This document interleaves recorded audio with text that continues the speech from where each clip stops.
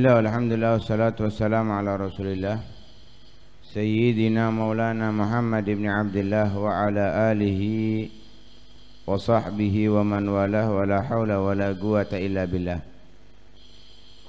سبحان الله الحمد لله ولا إله إلا الله الله أكبر ولا حول ولا قوة إلا بالله العلي العظيم عدد كل حرف كتب أو يكتب أبد الآبدين ودهر الداهرين سبحانك لا علم لنا إلا ما علمتنا إنك أنت العليم الحكيم. نوينا التعلم والتعليم والنفع والانتفاع والمذاكرة والتذكير والإفادة والاستفادة والحث على التمسك بكتاب الله وسنة رسوله والدعاء إلى الهدى والدلالة على الخير ابتغاء وجه الله ومرضاته وقربه وثوابه سبحانه وتعالى. قال المصنف رحمه الله ونفعنا به وبعلومه وعلومكم وعلوم سائر الصالحين آمين إلى أن قال لا يصح رفع الحدث ولا إزالة النجس إلا بما يسمى ماء مطلقا sebagian nggak ada kata-kata mutlakon sebagian hanya illa bima yusamma ma'an. Tapi sebagian ada yang tertulis di situ illa bima yusamma ma'an mutlakon yang nggak tahu tunjukkan itu.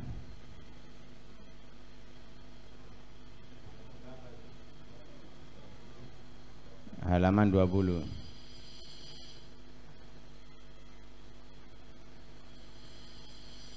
la yasihu. La. Tidak yasihu sah. Raf'ul hadathi. Raf'u mengangkat. Al hadathi hadas wala dan tidak. Kembali ke yasihu. Jadi membuang kata-kata yasihu jadi tidak pemborosan kata. Wala dan tidak. Eh, tidak tidak sah juga. Izalatu an najisi atau an najasi izalatu menghilangkan. An najasi najis. Illa kecuali bima dengan apa-apa.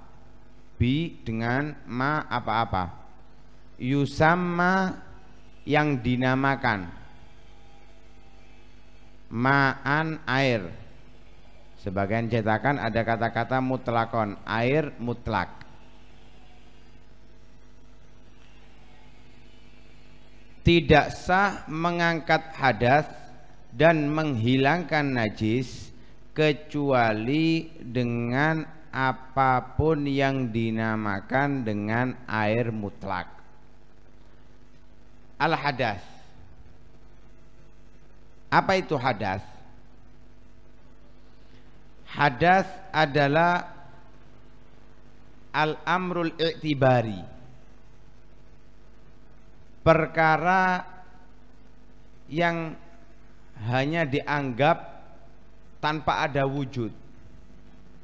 Hadas itu perkara yang ada dianggap yang dianggap dipercaya adanya tapi nggak ada wujudnya. Al-ghaim bil a'dha yang ada pada anggota tubuh. Al-mani' sihhatas shalah yang dapat mencegah kesahan salat haitsula murakhis ketika atau sekiranya tidak ada yang memberikan keringanan Hadas adalah perkara yang dianggap diyakini adanya tapi tidak ada bentuknya. Contoh, kita kentut. Kita kentut. Maka kita sebagai pelaku dikatakan orang yang berhadas. Yang jadi pertanyaan sekarang, bisakah kita membedakan orang yang berhadas dan orang yang tidak berhadas? Tidak bisa.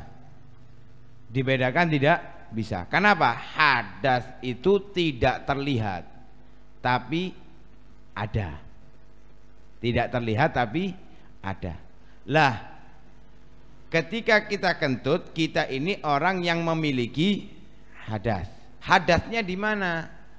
Tergantung. Kalau itu hadasnya hadas kecil, maka anggota tubuhnya yang hadas adalah tangan, wajah, sebagian kepala dan kaki. Kalau kita itu hadasnya hadas besar atau hadas tengah-tengah, yang menganggap hadas itu ada tiga, ada berarti tengah-tengah dan hadas besar itu seluruh anggota tubuh. Seluruh anggota tubuh itu dikatakan berhadas. Kalau memang hadas besar, kalau hadas kecil ya wajah, tangan, sebagian kepala dan kaki. Yang mana hadas itu ketika berada di anggota tubuh Al-mani sihata sholat Dapat mencegah kesahan sholat.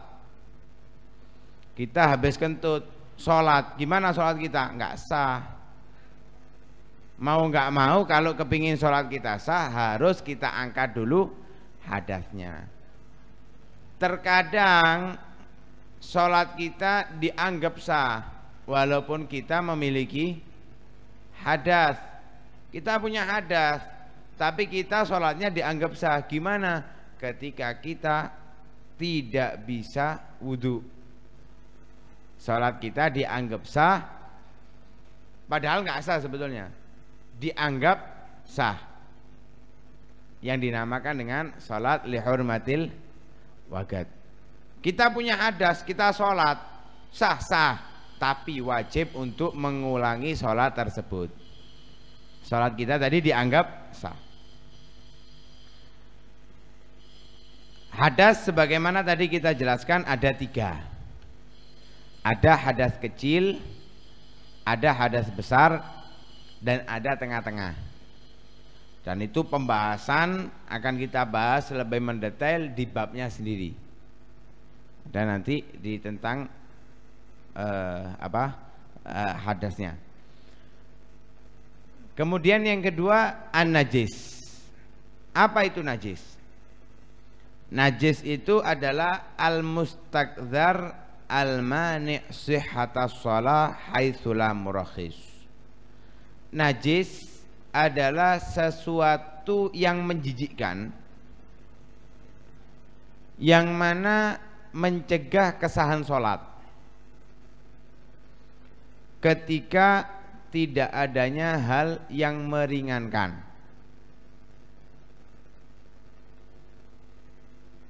Seperti contoh darah. Darah itu adalah najis. Darah adalah najis. Bisa mencegah kesahan sholat. Ketika darah itu banyak atau sedikit tapi darahnya darah ajnabi. Nah, itu banyak ya kalau banyak. Kalau banyak. Enggak sah sholatnya. Ketika dia sholat membawa memakai pakaian yang ada darahnya. Kalau darahnya banyak. Tapi ketika murakhis sah sholatnya. Walaupun bahkan belumuran darah seperti apa? Orang punya udun Tengah-tengah sholat Ceprot Keluar banyak darahnya gimana? Tetap aja sholat Sah sholatnya sah. Karena saat itu syariat memberikan keringanan. Yang penting pecahnya dengan sendirinya. Tapi kalau dipecah Kalau banyak batal. Nggak ada keringanan. Kalau sedikit baru masih ada keringanan. Lah najis itu menjijikkan dapat menghalangi kesahan sholat. Sebagian ulama tidak mendefinisikan tidak mendefinisikan eh, mendefinisikan najis. Pengertian najis tidak didefinisikan. langsung dicontohkan. Najis itu adalah darah nanah kemudian bangkai ini ini ini. Nggak disebutkan nggak nggak ada definisinya nggak ada. Langsung macam-macamnya lah setelah macam-macam dibagi diglobalkan. Najis itu terbagi menjadi tiga. Ada najis mughalladhah ada najis mutawasitoh ada najis mukhaffafah. Dan itu juga akan kita bahas pada tempatnya sendiri. Kita tidak akan memperpanjang di dalam pembahasan tersebut. Lah ketika orang ingin sholat maka harus menghilangkan hadas, mengangkat hadas dan menghilangkan najis. Karena kemarin disebutkan hadisnya di pertemuan kemarin miftahu sholati at-tahur. Kuncinya sholat adalah toharo. Lah, raf'un najas, raf'ul hadas, mengangkat hadas dan menghilangkan najis itu masuk pembahasan kemarin masalah toharo penjelasan tentang toharo. Lah, secara glob, secara perinci disebutkan tidak sah mengangkat hadas, juga tidak sah menghilangkan najis. Globalnya tidak sah bertoharo bersuci, tidak sah bersuci illa kecuali bima dengan sesuatu yusama yang dinamakan apa yang dinamakan apa? Ma'an air. Jadi kalau kepingin sah mengangkat hadasnya, kalau kepingin sah menghilangkan najisnya, itu harus dengan air. Sebagian cetakan ada tambahan mutlakon, harus dengan air mutlak. Apa itu air mutlak? Air mutlak adalah air yang tidak memiliki, memiliki ikatan yang paten atau tetap nggak punya ikatan yang tetap. Seperti apa? Kita ngebor ini air. Kita taruh tandon. Kita namakan airnya dengan apa? Air tandon. Kita pindah ke kamar mandi. Masuk di bak kamar mandi. Kita namakan dengan air jeding. Ya. Kita buka keran di dapur kita namakan air untuk korako, kora-kora. Kita taruh di gelas. Kita masukkan kulkas. Kita namakan dengan air dingin. Kita godok jadi air panas. Kita minum di gelas air namanya ini ikatannya enggak tetap, berubah-ubah. Ikatannya berubah, berubah. Itu namanya air mutlak. Tapi ketika tetap namanya dipindah di mana-mana pun tetap itu bukan namanya air mutlak. Seperti apa? Teh. Teh itu kita taruh di panci namanya teh. Kita taruh di gelas namanya kita masukkan bak kamar mandi tetap namanya airnya air teh. Itu tidak dikatakan air mutlak. Loh itu air laut itu dipindah di mana-mana tetap orang anggapnya air laut iya jelas karena asin karena airnya asin sebenarnya nggak ada. Itu orang menamakan air laut karena asinnya. Coba bukan asin enggak lah air mutlak itu ada yang muncul dari bumi ada yang turun dari langit. Ada yang muncul dari bumi ada yang ada yang turun dari langit. Yang muncul dari bumi ada empat. Ada air sumur, ada air e, laut, ada air sumber, ada air sungai. Empat. Ini empat air yang muncul dari bumi.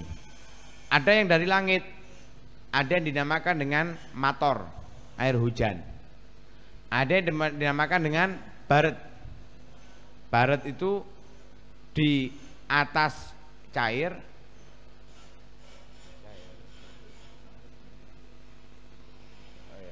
uh, ya barat yang dari atas cair uh, apa beku turun mencair. Kalau yang ada yang namakan salaj di atas cair turun membeku. Ya kalau biasa kita itu hujan es. Hujan es. Nah itu namanya salat uh, uh, barat. Itu namanya barat. Hujan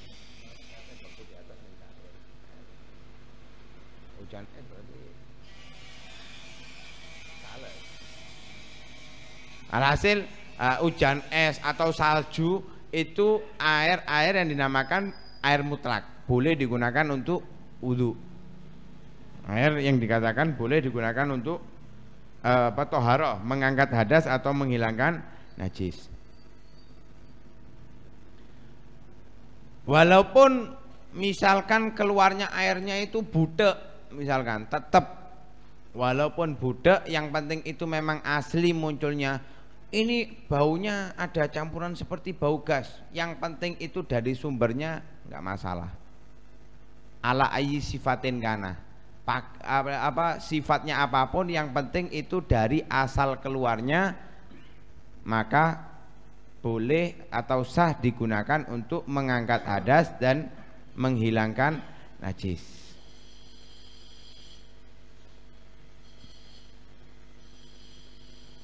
Wallahu a'lam. Mereka ada pertanyaan?